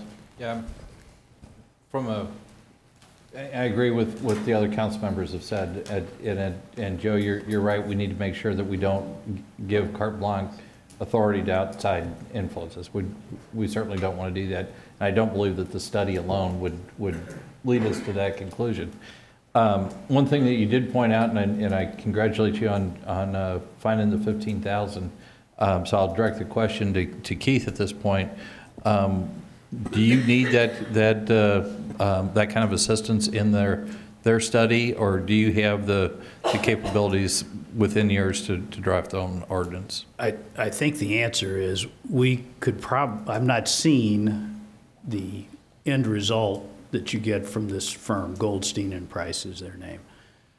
Uh, So I'd have to say to you, I would hope that we'd have the capability to do that. But the other thing you've got to remember, we had a port authority in St. Charles County from roughly 1975 until 1998 we actually, unfortunately, we don't have any real experience in the real world with this sort of thing. Uh, there are a couple aspects to that then. Goldstein and Price, well-known, fine reputation for maritime law. It makes perfect sense they would be associated with the drafting of port authorities and their uh, documents that create them and so forth. So you would get the benefit of uh, their experience. And I think it is especially important, uh, the, the body of law that deals with things that happen on the water is called maritime law. Probably everybody in the listening audience knows that. These folks are specialists in that world. We, we are not. We might, we might well be able to structure a governmental entity to do this, but we might not know all the principles that we need to know to be, to, to be taken care of. I'm satisfied that we, we would have you and your department to review to make sure that we're not including any of the, of the things that, that Mr. um, Cronin has warned us about as far as some of the um, potential problems that, that other communities have faced. Mr. Greipsey. I just wanted to clarify that on the pricing schedule that you see, you see the 15,750 under bullet item number one. That dollar amount does not equate to the drafting of the ordinance. What we tried to establish in the pay schedule was that we have a breakdown of the hours of service that we're receiving, but we also wanted to break it down the schedule into the deliverables so that there be established milestones. And we found that there's going to be three basic submittals that the consultant would provide us. One will be at the time that an ordinance would be drafted. So the 15,000 includes the work up to that point, which may include several meetings with our uh, city stakeholders, our partners, a review of other port authorities. So it's not just the drafting, but that's the milestone of that submittal, and that 15,000 is the work that leads us up to that point. At that point, there's a decision that we have of, are we going to move forward or not? If we move forward, the next bite will be the submittal of the application to the Missouri Highway and Transportation Commission. That next bite takes us up to another $49,000 worth of work. If that gets approved, the next bite is delivering the final report, and that milestone was 33. So the clarity is that it wasn't 15 just for them to draft a two-page ordinance. It's a milestone of work based upon the submittals, and the submittals that will be decision points to the council. Thanks for that clarification. Yes, Mr. Cronin. One last thing I'd like to clarify is this is, this is from March 12th Post Dispatch. It says low-profile power. Sa- Talks about port authorities. Very few have anything to do with ports. This isn't about the idea of making a nice river port or stuff. This is giving the Port Authority the power to do the dirty work of eminent domain abuse in this county. And that is the big problem I have, representing a lot of people and a business that, that almost lost their power, lost their land to eminent domain abuse. That's where I have a problem. We have, a- right now, an executive that's, that's been against, adamantly against the abuse of TIFs for quite a few years. We create a port authority, and we get a different executive that doesn't have Mr. Ehlmann's strong convictions about the misuse of TIFs. We're opening the door for a lot more TIFs in this county, and that scares the bejesus out of me. I don't know how else to say it. So if we're going to do this, and we're going to do a model, a model ordinance, I think somebody needs to give the direction is, I do not think eminent domain should be the venue of appointed board in this county. It should be the business of this council and the elected body of this county. And that's, that's, that's how I feel about it. Okay? Agree with you. Anybody else who want to weigh in on this? I would point out that, as Vicki talked about, um, the Missouri budget had $6 million in for ports, um, that you could apply for your share of up to $6 million in funding that the state of Missouri gets. That's your taxpayer money that they took to fund that budget. If you don't have a port authority, and there are 14 in the state, but if you don't have a port authority, you have zero opportunity to recoup a dime of that money. So at least having a port authority gives you the opportunity to go after a share of that money to try and recoup some of it. There's a lot of different things that you can do with that, but what I would suggest is, let's do the study. When we get the study back, let's do a work session, bring in TranSystems who are doing this study for us. Let's let them answer all the questions that you have. Let's talk about uh, the scope of the Port Authority, what you want to go for and what you don't want to go for. But my request would be to do this study to start, and then once we get the results back, we'll see from there. Yes, sir. Uh, With that, I'd like to make a motion to approve. Motion to approve, do we have a second? Second. Motion to approve and a second. All those in favor, aye? Aye. Aye. All those opposed? Opposed. Motion carries. Question? Very well. Move on to Mr. Brazil's issue. Yeah, I guess this is, John, is this your uh, deal here, the traffic green light thing? Yes. Why, why do you have, why is there so many extra work orders on this? Um, You're at over 20, 250,000 on a 1.5 million dollar contract. It seems like, is this poor engineering or why, I mean, and who, all these different things, A, B, C, you know, during construction, various additional work was required to make connections throughout the county for some field changes. How come that wasn't identified during the uh, engineering? Like all these different line items, it's like, how do we know who knows that any of this work is actually getting done? And, I mean, who, who's watching this? All right. So I do apologize. There are quite a few change orders spe- spe- specifically to this contract um, and phase two of the project. The largest portion of that was a constructive directive and change order number six. That was 130,000 of the 200,000 number that you mentioned. That construction directive basically established and said, on our fiber optic network, there's various tubes of fiber. In order to have consistency throughout the county for multiple uses, we went ahead and modified the whole system so that the orange tube, let's say, was for gateway green light use solely. The brown tube across the county would be for municipal use. And so that required quite a bit more uh, splicing and work on the fiber optic network to provide that consistency across the network as this fiber network grew. So if you go into a signal cabinet, you always know I'm working on the orange tube because I'm on the GGL network. This last change order, number 12, for 39,000, that basically gets down to uh, the cost of getting into various city halls and retrofitting uh, municipal fiber components that, I mean, in all honesty, their data was poor. Uh, They did not have good additives built in. Uh, You see in this change order, we itemize out, there's work to get into uh, the city of Lake St. Louis, there's work to get into Dardenne Prairie, some of these smaller communities that just did not have good records of where some of their IT stuff was that we had to tie into as part of the program.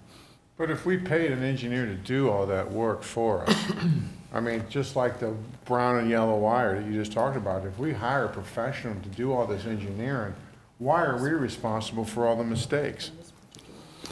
So in this particular contract, um, we had two choices that we could have made early on in the process. One was to uh, do that very thorough upfront engineering and try to nail down every last thing and when you go through remodeling the system. Or we could got to the point where we got pretty darn close, knowing that we're going to have some change orders. And we looked at the costs of both directions. It seemed at that time to make more sense that we were never going to get 100% of the answers from the municipalities because they just didn't have the data. They wouldn't let us into those closed closets, their IT closets. And so that's why you're seeing, like, like I said, this, this last one of some of these minor quantity changes that you know, add up to about $39,000. Any other questions? Mr. Cronin? It would be nice, John, if they could, if, if the folks, I'm sorry, it'd be nice if the contractor for this could coordinate a little bit better with other construction in the area. Right now, you got a down, you got a one-two punch in, in Main Street of O'Fallon. The south end, you got everything tore up for the water mains. North end tore up everything with Gateway Green Light. So I mean, I don't know who, who planned that going on at the same time, but it's created one hell of a mess in downtown O'Fallon right now. It'd been nice if they could have got one project done before the other, because the Gateway Green Light people are hitting gas lines, the water people are hitting gas lines, they're breaking water mains, it's a, it's a mess. I mean, having two projects at once like that. So any, I guess that's gonna continue on all summer in downtown O'Fallon, you think? Well, the Gateway Green Light, at least in O'Fallon, is, is coming to a conclusion. Uh, They got the conduit in place, which is the, is the hardest piece of the project.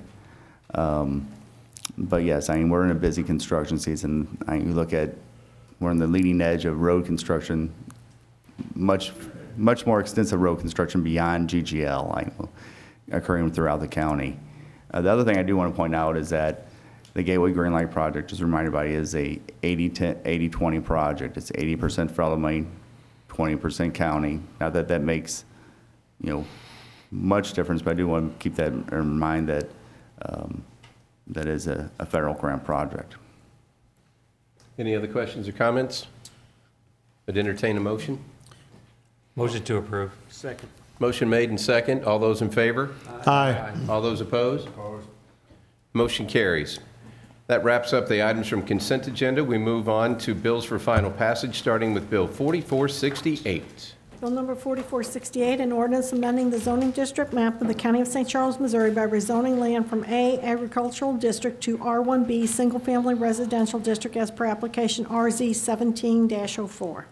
Any questions or comments? Seeing none?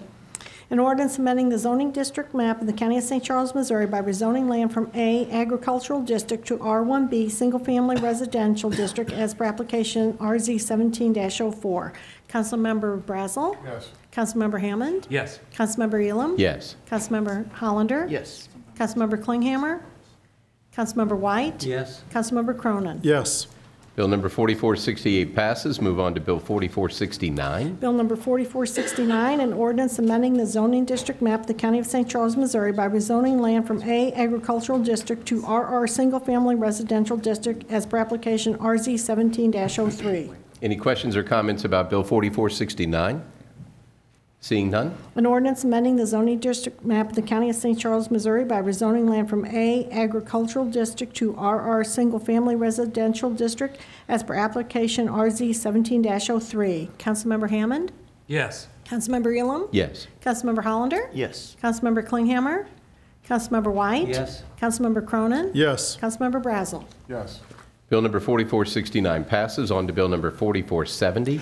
Bill number 4470, an ordinance granting conditional use permit CUP 17-03 to allow the applicant to increase the height of an existing 107-foot monopole-style communications tower to 160 feet and to allow a 160-foot tall tower to be set back 107 feet from the nearest agricultural or residential district to Randy L. Schott, Janet M. Schott, and Stanley T. Schott, Revocable Inter Vivos Trust, property owners, and Selective Solutions LLC applicant. Any questions or comments? Mr. Cronin? Uh, This is in my district, and I'm familiar with the site. I actually drove there yesterday afternoon, and there were 14 people that wrote, uh, signed letters of opposition to this um, project. Um, Most of the concerns of those residents have been taken care of. There's really only two properties you'll be able to see this additional um, atop of the tower, and it's long ways away in their backyards. So I think the applicant has done a good job um, trying to take care of a lot of the issues the neighbors have brought up, and um, I'm fine with this passing and moving forward now. Any other questions or comments? Seeing none? An ordinance granting conditional use permit CUP da- 17-03 to allow the applicant to increase the height of an existing 107-foot monopole-style communications tower to 160 feet and to allow a 160-foot tall tower to be set back 170 feet from the nearest agricultural or residential district to Randy L. Schott, Janet M. Schott, and Stanley T. Schott Revocable Inter Vivos Trust, property owners, and Selective Solutions LLC applicant. Councilmember Elam? Yes. Councilmember Hollander? Yes. Councilmember Klinghammer? Yes. Councilmember White? Yes. Councilmember Cronin? Yes. Councilmember Brazil? Yes. Councilmember Hammond? Yes. Bill number 4470 passes. We'll move on to Bill 4471. Bill number 4471, an ordinance amending the zoning district map of the County of St. Charles, Missouri by rezoning land from C2 General Commercial District to RR Single Family Residential District as by application RZ 17-05. Any questions or comments? Seeing none? An ordinance amending the zoning district map of the County of St. Charles, Missouri by rezoning land from C2 General Commercial District to RR Single Family Residential District as per application RZ 17-05. Councilmember Hollander? Uh, yes. Councilmember Klinghammer? Yes. Councilmember White? Yes. Councilmember Cronin? Yes. Councilmember Brazil? Yes. Councilmember Hammond? Yes. Councilmember Elam? Yes.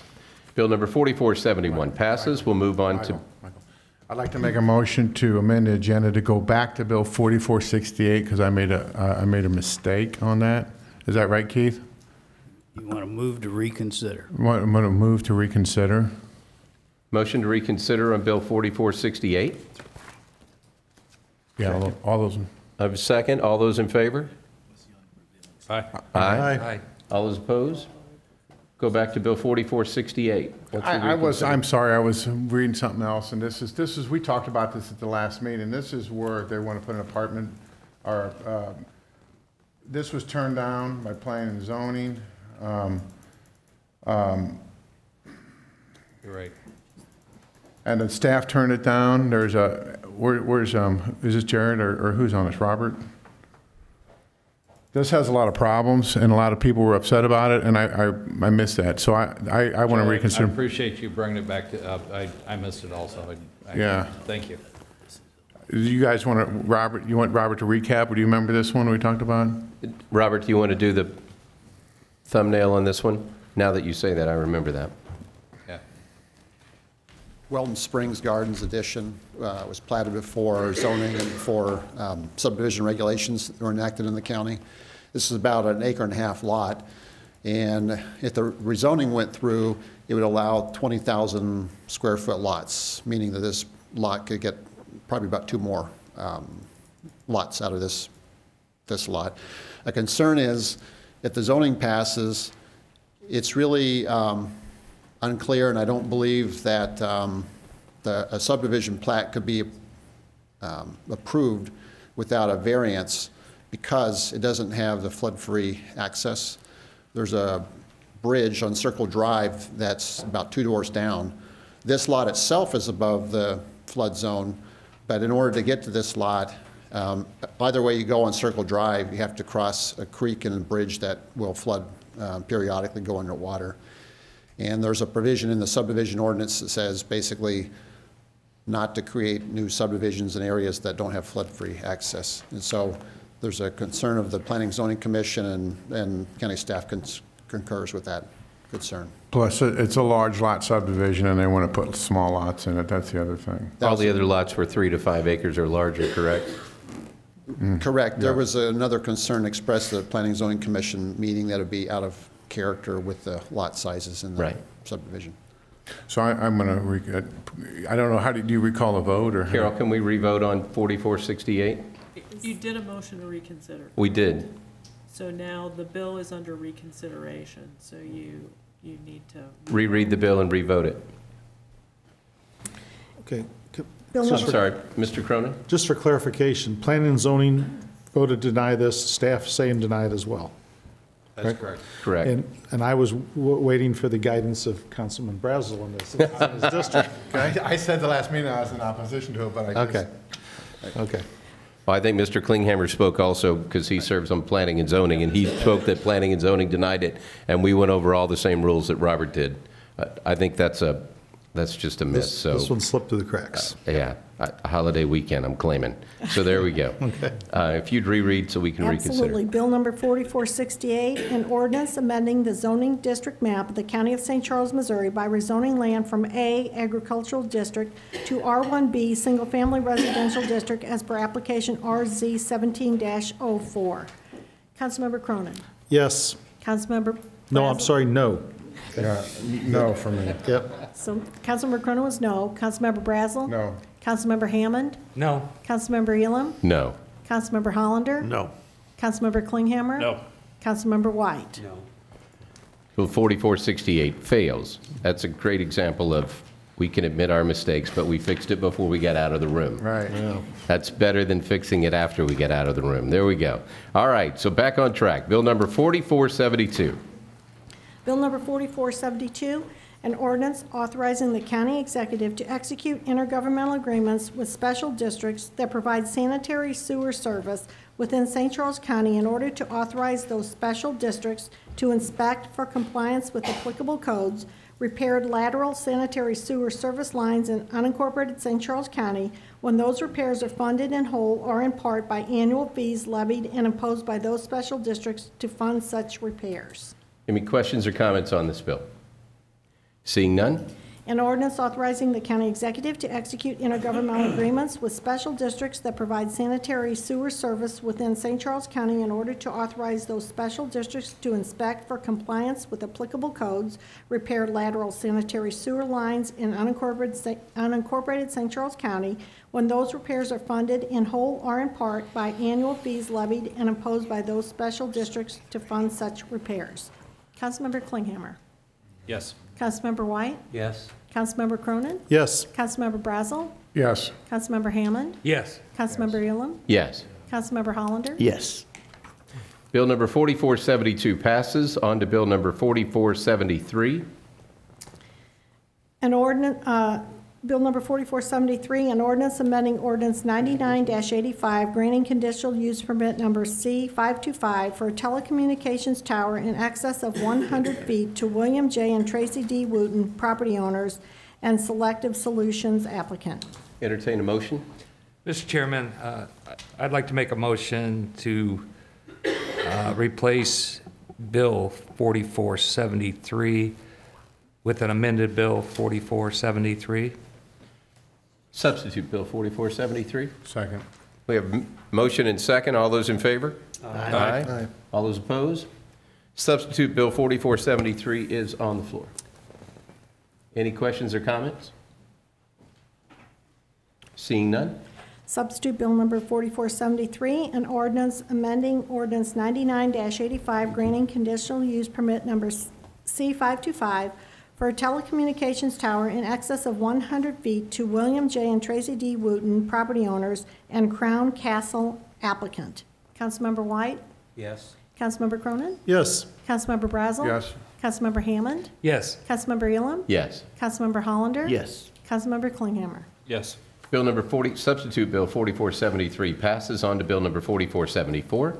Bill number 4474, an ordinance authorizing the county executive or his designee to execute a grant agreement and funding approval with the State Emergency Management Agency for a grant from the Federal Emergency Management Agency, FEMA, to fund 100% of the projected total cost of acquiring and demolishing two residential structures sustaining severe and repetitive loss in flood hazard zone of unincorporated St. Charles County.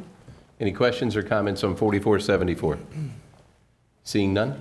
An ordinance authorizing the county executive or his designee to execute a grant agreement and funding approval with the State Emergency Management Agency for a grant from the Federal Emergency Management Agency, FEMA, to fund 100% of the projected total cost of acquiring and demolishing two residential structures sustaining severe and repetitive loss in flood hazard zones of unincorporated St. Charles County.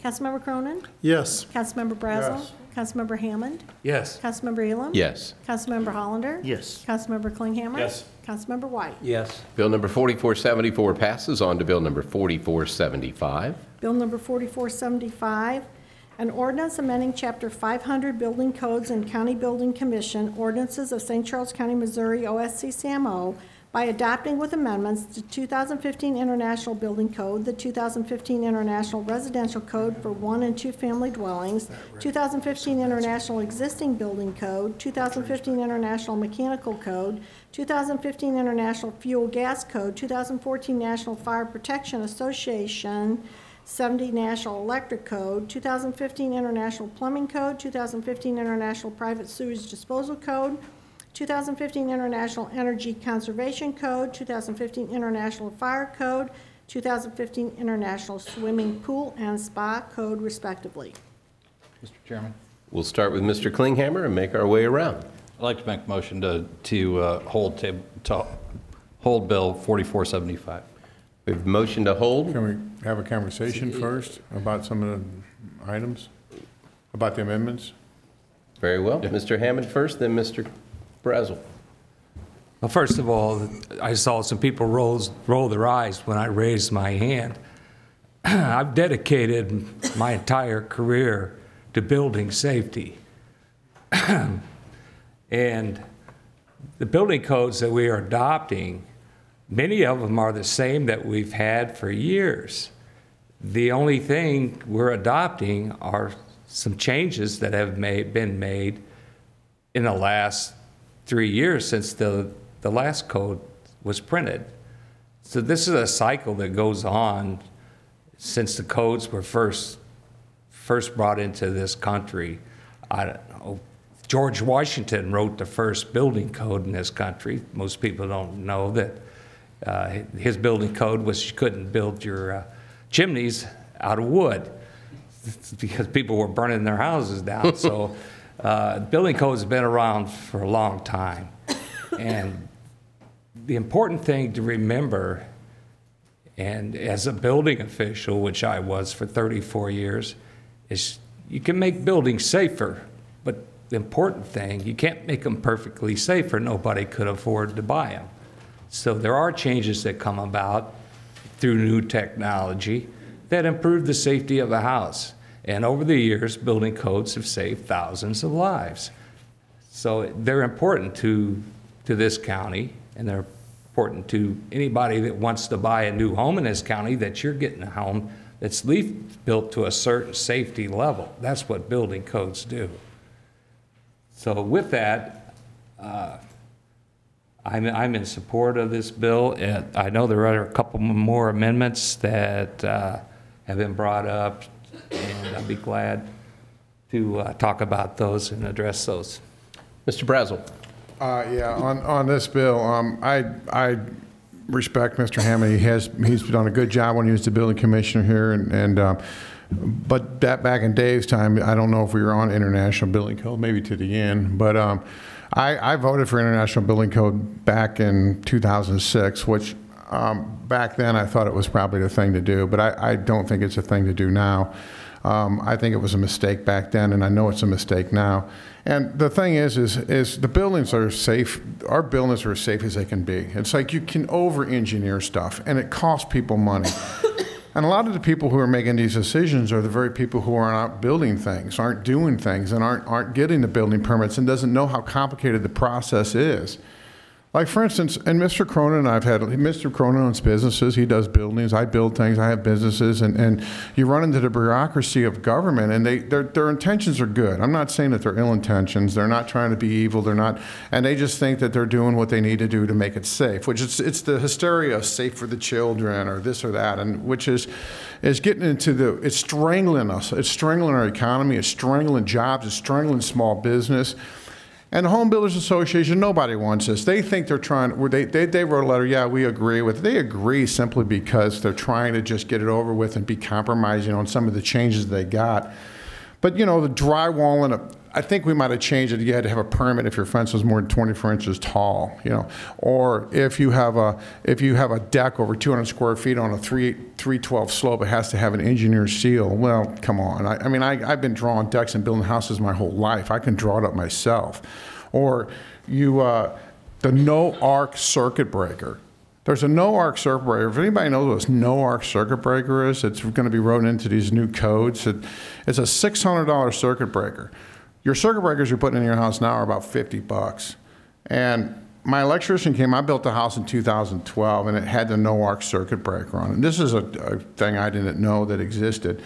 And he comes out there and he's a licensed electrician and he pulled out the circuit breaker and he put in the old $50 one because the $600 ones are so sensitive that if there's one little glitch with the electronics, it's going to constantly throw the breaker. And they don't work. But that's into the new IBC code because they know what's best for you without you having an opportunity to make that decision if you want to spend $600 per 40 amps. So my point is, is, is like I said, none of these council members or perhaps in administration don't, they, we may, we don't agree on this one. I don't think their intentions are ill at all. Um, I just think that uh, they're getting caught up in, in, in bureaucratic uh, nonsense. Um, this is no different than Obamacare. Um, you like it or you don't like it, it, but we all know the problems that are, it's causing major chaos right now. It was similar to this, seven, 8,000 pages, nobody read it. But you know what, I'm sure we'll work it out. There's things in there. No, you know, I just don't think we need it. The building codes we have now are sufficient. And um, it's, it's, a, it's, it's just, I think it's just too much government. We don't need it. it and, you know, the president that got elected, he's repealing, like you, Cronin said, every two, you repeal two ordinances for every one you make or whatever. I mean, this is going in the opposite direction. And so I just think it's not good for, there's not one person in this county, not one constituent in this county said, you know what, I think we need a 2015 International Building Code. I think that would be good for us. Not one person said that. This is brought to us by I don't know who. And so um, it's a bad plan, it's a bad idea, and um, I'm totally opposed to it. You good? I'm good, thank you. Okay. Thank you Mr. for letting Cronin. me, let me speak. I'm not going to cut you off, man. Mr. Cronin. Um, Just so you know, um, I've been working some, talking some with Mr. Hefner, not as much as I should, about making an amendment regarding the floor joists, which are the, the most expensive portion of this code. I reached out to three large builders in my district to get an idea what this would cost and get their comments on the new 15 code. I've reached out to electrical contractor, a lumberyard, it supplies floor joists, and we have some, some uh, amendments coming with floor joists. Uh, Arc fault breakers, I've talked to electrical contractor about those to get some recommendations of them. However, Dave has told me that the existing code has those in the bedrooms, and the electrical contractor did say they're not a bad thing to have in the bedrooms, may save somebody from, from dying from a house fire. Uh, While I've not had Dave's level of expertise with, with with 35 years in the building industry, uh, the little bit that I do have, um, you know, the, codes have to be simple. While I've not read the 8,000 pages, I have read all 188 pages that we're, that we're planning on changing. And we've also reached out to a lot of people in my district, which is a rural district, and I heard you, Ms. Bayer, about being on 38 acres out in the country. And there's some fencing requirements that Mr. Brazil had a problem with in your district where he live, and I do too, that we're working on changing that. So this is, reason Mr. Klinghammer is wanting to table this or hold it, I think is a good thing, because he's also been working on the, the, these, Mike Klinghammer's been working on the, the penalty phase of it. How, what are our penalties? Um, How are they compared to, to other places in the state and state law? So, I mean, we're not, we're not ready for this the way it is right now. I think that's clear.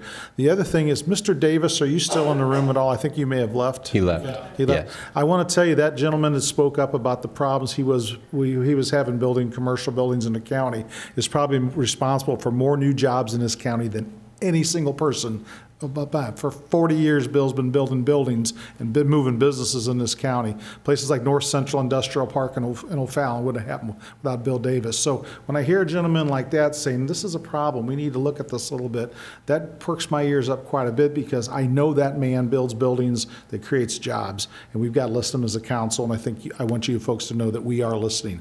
If you have specific problems with this code, you need to send us an email to it, okay? And, and, and I think the changes are all on the website where you guys can pull them up, should you want to read the 188 pages of really dry, boring stuff to read, okay? Anybody else? Ron, I would tell you, you asked, did we read the 8,000 pages? No, but we all read the 188 changes. So of the, the 8,000 pages, most of that is stay, will stay in place. If we do nothing, the 2009 code stays in place. So the majority of that 8,000 pages stays in place. Some of this stuff that we found, um, looking at the 2009 code, we realized didn't make any sense. Because the majority of us weren't here when the 2009 was passed, and some of the stuff got missed, like the 24-inch fence, you have to have a permit right now for the 24-inch fence. So some of that stuff would be nice to get rid of and to fix. So there are some good things where if we don't do anything, we can't fix the stuff that we found was wrong. So we're working on doing some of those amendments right now. Yes, sir? Uh, One clarification, on the ad hoc committee, we are not addressing the IBC, just so we understand that. We're addressing some other older issues that we're just trying to look at, so that, those are two separate items. Yeah, the gentleman in the back, I believe you brought that up. Uh, Yeah, so the- the ad hoc committee is actually working on clearing up processes for the county, making it easier for you to do business with the county, and making the county a little more user-friendly from that standpoint, Uh, just so you know. And just so you know, in the public comments section, we generally have a policy, you can say whatever you want for three minutes, and we'll respond later. We don't respond during public comments. That way, we don't get back into a back and forth you could say whatever you want, and most of you do, thank God. So uh, uh, I would move back to Mr. Klinghammer if we're all done with our say. Nope, Mr. Hammond. Did you want to go ahead and make a motion to, to uh, remove the drywall requirements for manufactured floor trusses? Yes, I think so, but I think Mr. Hefner is probably going to have to, to do the legalese on that, correct, Mr. Hefner? Well, I think the proper way to do this is Right. go ahead and propose the amendment Okay. and, and get it passed before he makes the changes. So that I, Point of order from Mr. Hazelwood, please. Legal counsel in the middle? I'd, I'd request a moment to confer with my attorney. Well, Drew Hefner is here this evening, number one. He's the person drafting the bill. So if you are going to make a motion to amend, you, you would have to actually this evening offer the exact language that you're proposing. Now, Drew may be able to help you out this evening. I'll defer to him on that front. But by the same token, I would, I would say to you that I think there's several other amendments that we're trying to, to incorporate into the bill, and we may be better off uh, getting a substitute bill that incorporates uh, all the differing inputs that we're getting, including the penalties, including the floor joists and. Mr. Brazil, do you have changes as well? I think a lot of them were similar to, uh, to Joe's, and, and since Joe is working on it, um, I talked to Drew. Where's Drew? Is he here? He is, he's right over the corner. Yeah, Drew, or, you understand? up? I mean, Drew was really hoping to get out of here without having to come up. I think we were waiting on, were you gonna, did you drive something for Mr. Cronin? I have not, um, That's not his fault, that's my fault, because to be frank with you, I reached out to three builders for comments about the whole code. I wanted, I'm very concerned about this affecting the new home building industry in this county, which is really critical to my district. So I reached out to those builders, and I've been getting the information back in pieces. So I should get that, I will push that, get that tomorrow, okay, and try to get this information for you this week. Okay. And so where I am is I, we have the original bill. I did a substitute for Mr. Klinghammer, but in talking to him, I think he wants to make some amendments to his substitute. That is correct. I've started working on a substitute for you, Mr. Brazil, but one of the issues I have further questions, so I wasn't able to complete that. So that's I think that- kind of I where think we that are. the- As everyone knows, it- I, I am not in favor of this at all, but I- if, if for some reason it's gonna go, and these council members know this, if it's gonna go through, I'm gonna try to get as much out of it as I can, that it's within reason. And, um, so Mr. Cronin and I are on the same page in a lot of items, and maybe even Mr. Hammond on some of the items. Um, and I think it's fair to say that, uh, that we'll try to soften it, but like I said, I'm opposed to the thing altogether, and, and the council, I- you guys know that, and I'm, I, but I'm just trying to, if it's gonna go through, I gotta try to make it as soft as possible, but I don't know what else to do. Let's get one clean version if we can with the amendments and, and know what we're voting on. We removed the provision for the requiring permits for fences. I have done that as part of the substitute for Mr. Brazil, as well as another change. Only in so- agricultural areas, all right? No, no, there was a, the No, law, the that's- law is six-foot fence, you need a permit for a six-foot or above That has now. been changed. The fencing has that- been that has changed. Yes, okay. because the way it currently sits is you still need a permit for a fence of 24 inches or above. That has been changed. In the, yes. Right, but that, that is part of the current building code, correct? No. Yes, it is. That is in the current Yeah. 2009 code that we are It's- under. No, it's not, it's six foot, isn't it? No. That's what we're No, changing the- it to. with It's the- always been six foot. The one that oh, has been No, introduced, yeah. it is not. It's, it's currently 24 inches and above. That's why this whole argument started. John? I'm just saying, we're hashing this out, and I, there was a lot of discussion, that's a lot of concern about this bill, and I think we're doing the right thing by tabling it, and trying to work it through, and trying to come with something that, that everybody can live with. Can we do a last couple and then, because we're going to table this anyway, agreed? Yep. All right, so do we need to have more discussion I on just this? have or one item that I'd like to have for the next meeting. Okay. We have an insurance man for this county, he left earlier, I think it's Ed, I forgot his name, okay? Yes. But there's been a lot of discussion about what happens to our insurance rates if we keep to the 209 versus if we adopt the 2015. I would like some, uh, some, some hard data on that, okay? How important is it that we adopt the 15? Even if we take the 15 and modify the hell out of it, is, is that going to help people have lower homeowner uh, rates? Or is that just a- a a fallacy? Well, to be fair, Ed is, Ed is HR, so I don't, I don't know how much Ed's going to know about No, it. Ed- Ed Ed's is our insurance. risk manager in the Department Oh, of okay, so Finance. he's in Sorry. charge of, well, he's insured, so I mean- I know he He's does a lot insurance. of our insurance, so He- He Dave. does, he does a I- I lot of can- health insurance, but we can find that out. We'll find that out. I out. can answer that question, and I think a lady out here that spoke earlier was explaining that what the ISO rating for this county is set on, and she is absolutely correct, everything she said.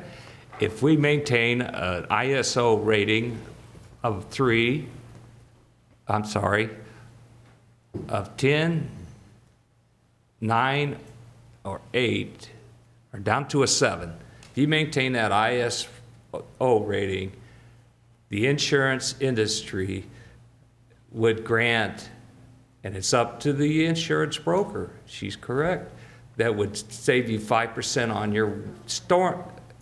It would save you, this is what I've been told, and, and I've sat through meetings on this over and over, they can grant you up to 5% savings on your wind insurance to- for wind damage to your house.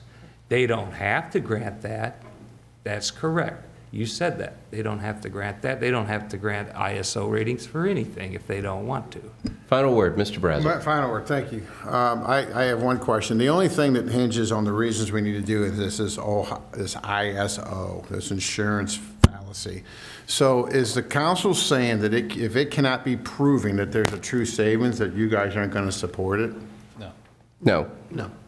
That's- that's not what Then the there's no point saying. even, I mean, we could disprove it or prove it. So I mean, if, if Joe wants to have it proven, I can have someone come in and disprove it too. So I don't, that's why, I was just asking if we're hanging our hat on that. That's what I wanted to know. I don't believe we I, are. yeah, I think. All right, I think back it's to a very Mr. small- I think it's a very small factor. I think there's a lot of other big issues besides the insurance. Well, I think we all agreed when we started going through it, there's stuff that we found in the code that we went, this shouldn't be there. Yes. So that's part of the reason in fixing some of this stuff. And Mr. Chairman, do you have any more questions for me? No, thank you for your time. Absolutely. Uh, Mr. Klinghammer. I made a motion to hold. Mr. Klinghammer has a motion to hold this bill. And I will second it. Mr. Hollander has a second. All those in favor? Aye. All those opposed? All right, the building is held. Let's move on to bill number 4476. God willing, this will go faster than the last one. Substitute Bill Number 4476, an ordinance authorizing two agreements between St. Charles County and the City of St. Peters relating to St. Charles County's Urban County Community Development Block Grant CDBG program, including one, a 2017 Professional Administrative Services Agreement, and two, a 2017 Agreement for administering urban county programs through May 31st, 2017. Any questions or comments on 4476? Seeing none. An ordinance authorizing two agreements between St. Charles County and the City of St. Peters relating to St. Charles County's Urban Co- County Community Development Block Grant CDBG program, including one, a 2017 Professional Administrative Services Agreement, and two, a 2017 Agreement for Administering Urban County Programs through May 31st, 2017. Councilmember Brazil? Uh, yes. Councilmember Hammond? Yes. Councilmember Elam? Yes. Councilmember Hollander? Yes. Councilmember Klinghammer? Yes. Councilmember White? Yes. Councilmember Cronin? Yes. Bill number 4476 passes on to bill number 4477. Bill number 4477, an ordinance authorizing four agreements between St. Charles County and the City of St. Charles relating to St. Charles County's Urban Commu- County Community Development Block Grant CDBG program, including one, a cooperation agreement for the City of St. Charles to join the urban county, two, a 2017 Professional Administrative Services Agreement, Three, a 2018 Professional Administrative Services Agreement, and four, a 2017 Agreement for Administering Urban County Programs. Any questions or comments on 4477? Seeing none? An ordinance authorizing four agreements between St. Charles County and the City of St. Charles relating to St. Charles County's Urban County Community Development Block Grant CDBG program, including one, a cooperation agreement for the City of St. Charles to join the urban county, two, a 2017 Professional Administrative Services Agreement, three, a 2018 Professional Administrative Services Agreement, and four, a 2017 Agreement for Administering Urban County Programs. Councilmember Hammond? Yes. Councilmember Elam? Yes. Councilmember Hollander? Yes. Councilmember Klinghammer? Yes. Councilmember White? Yes. Councilmember Cronin? Yes. Councilmember Brazil? Yes. Bill number 4477 passes on to our final bills for final passage, 4478. Bill number 4478, an ordinance approving execution of supplemental cost share agreement number one to an intergovernmental agreement with the Missouri Highways and Transportation Commission and the City of Wentzville for improvements on US 61 between Route A and Piney Road. Any questions or comments on 4478? Gentlemen? No? No. Seeing none? An ordinance approving execution of supplemental cost share agreement number one to an intergovernmental agreement with the Missouri Highways and Transportation Commission and the City of Wentzville for improvements on US 61 between Route A and Piney Road. Councilmember Elam? Yes. Councilmember Hollander? Yes. Councilmember Klinghammer? Yes. Councilmember White? Yes. Councilmember Member Cronin? Yes. Councilmember Brazil? Abstain. Councilmember Hammond? Yes. Bill number 4478 passes. That's it for bills for final passage. I just have one question. Yes, sir? Does this, uh, does this include the overpass at Flint Hill? Yes, yes, yes. Uh, Yes, this is the uh, overpass and interchange at- between uh, PM Piney at Flint Hill. Thank goodness, this is finally coming to fruition. There you go. Uh, On to bills for introduction. We only have two. Bill number 4480. Bill number 4480, request by Joe Cronin, sponsored by council as a whole, an ordinance amending Section 405.060 and Section 405.080.c of the ordinances of St. Charles County, Missouri, OSCCMO, to authorize certain meeting facilities as well as rural recreational activity as conditional uses in the A agricultural zoning district. Mr. Cronin. Uh, Ed, would you come forward, please? Um, This gentleman uh, has a a pumpkin patch that's been operating for a long time with a lot of activities for kids and families. And uh, as, as the current trend is, a lot of people want to get married outside. And uh, unbeknownst to him, that he would, he needed special permitting to get, um, to get, um, have marriage, or weddings there. He's worked with uh, Wentzville Fire Protection to get his place up to what he needs to be to- for their protection. Uh, Robert and um, Mike have worked really good with community development to work with him to figure out what he needs to do. And essentially, this is a change in the, in the, in the, um, the code that would allow weddings uh, and rural rec- recreational activities uh, to, to happen in areas of the county, but subject to conditional use permits. So the- just so you know, once we pass this, doesn't mean you've got the permit. It means you have to go through the process of applying for the permit. Your neighbors will be notified. They'll come up if they have concerns about particular things. For instance, like maybe no loud music after midnight, et cetera, that could be conditions. So I, I think by doing it this way, we strike a happy balance between the right of this gentleman and his wife to try to make a living in a rural area, supporting his family, and also protecting the neighbors for the activities that he may have. And uh, I think, um, Robert Myers did a fine job with this, and Mike Herbert did, meeting with this gentleman, trying to work out details that both the citizens of this county protected and uh, still also uh, allow him to, to carry on his business. And other than that, you know, you can add whatever you'd like at this time. Uh, I have a copy of my conditional use permit application right here, and um, I would like to also thank, uh, before I thank them, my old job was working directly with uh, the government, and as many people have said, it can be very difficult working with the government. Uh, A lot of things that are hard to understand, and uh, people do, they do things that, that just doesn't make sense sometimes. But my experience with, uh, with both Jared, is it Aggie? Agee, and as well as Robert Myers, has been just a real pleasure. They uh, have answered every question and worked with me and are helping me out significantly. And also thanks to you for sponsoring this bill as well. You're welcome. Any other questions or comments? We're working on fixing that process, so it's not easy to work with us anymore. Oh, okay, good. We've got an ad hoc committee that's on Can you that wait a right couple now. of months till this is done? That's right. All We'll right. see what we can do. All right, thank you. Uh, all right, thank you for coming in. Good luck. It's Charlie Brown Marriages. That's going to be fun. It's a great pumpkin. I can't wait for that one. All right, so bill number 4481. Bill number 4481, request by Hope Woodson, sponsored by Mike Elam. An ordinance authorizing the county executive to execute an intergovernmental agreement for financial assistance grant agreement number 2017-006 between St. Charles County and the St. Louis Jefferson Solid Waste Management District for receipt of funds in and up amount of up to $55,000 and amending the 2017 budget adopted by ordinance 16-104 by appropriating additional funds in the general fund budget, Department of Public Health. Any questions or comments on this bill? Seeing none, we move on to announcements and miscellaneous. Anything for the good of the order? Well, I got something. We had our catfish tournament uh, the- for Focus Marines and Defiance over the uh, Memorial Day weekend, so we raised money for the wounded veterans. And uh, we had caught uh, over 1,200, there was 14 teams, they caught 1,200 pounds of fish uh, on, uh, went out Friday night, set their lines, and came in on Saturday. We had uh, first place, Wild Shoots, their, their fish was almost 49 pounds, one catfish. And their three biggest were, the total was 88.9 pounds, and then second place was a 44-pound catfish. These are huge fish. I mean, these Is are this like hillbilly foot- hand fishing that they're doing or something? Not- It's hillbilly, but not hand fishing. No, I'm kidding. No, it's line fishing. It's all fun, though. So, and we raised money for the veterans, and so it turned out really good.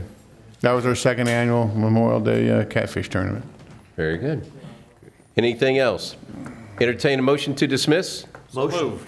Motion moved in second. All those in favor? Aye. We are dismissed.